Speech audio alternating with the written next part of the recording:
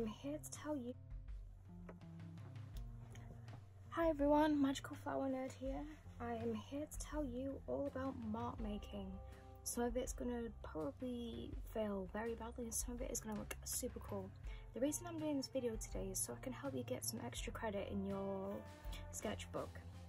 Now, mark making is very important because it can often reflect on your mood and the whole theme of your piece.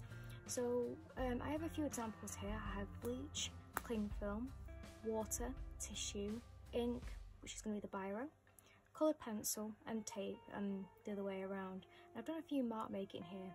So in a few examples that you might have seen is Pointillism by Claude Monet and uh, some hatching which goes like this. And it often gives like depth and tone to your piece and just general mark making in general. So you get the gist. So first off, I think we should get going.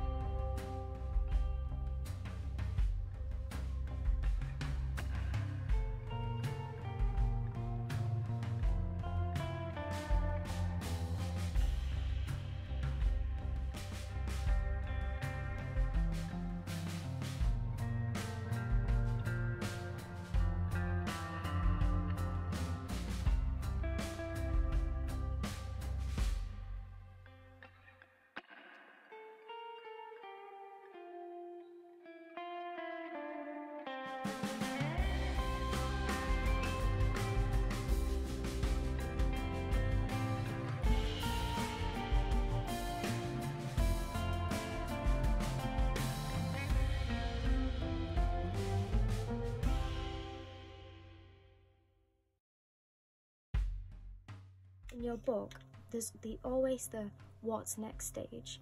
So as these are waiting to dry, you can always scan them into Photoshop and make some beautiful backgrounds, some beautiful textures, and you can even make some beautiful collages out of this. There is nothing wrong with experimenting and keep trying, trying again. Just because how it doesn't happen first time doesn't mean that it's always going to fail. So, this is Magical Flower saying, Lottie loves you baby, leave a comment down below and if you want any more advice on mark making just give me a DM or just give me a shout out and I am more than happy to help you. Personally, I found mark making it a very good idea to help into my final piece because it helps you learn new methods, make connections to artists and it makes you understand why mark making can help you get a really, really good reaction. Um, a few safety things, please make sure you are wearing safety uh, protection, so please, especially using bleach, it is hazardous. Make sure you're wearing eye protection, skin protection, and you're in a well ventilated area, and please be supervised while you're doing it. Um, but look out for the colours, like, and what, I, what I'll do is I'll post some pictures out of some close-ups, and I'll even show you some work that I'll do with these textures in some later videos.